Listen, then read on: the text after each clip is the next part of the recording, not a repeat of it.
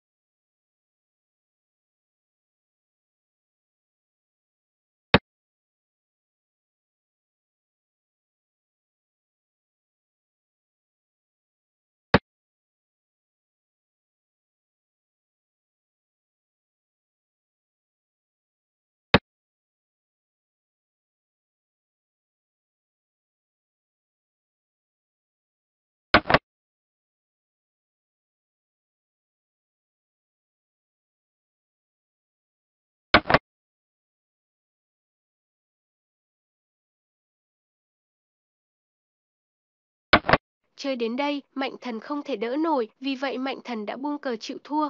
Video này của em Loan đến đây là hết rồi. Anh chị ai chưa đăng ký kênh thì đăng ký giúp em Loan nha. Em Loan cảm ơn và hẹn gặp lại anh chị mỗi ngày. I love you chụt chụt. Bye bye.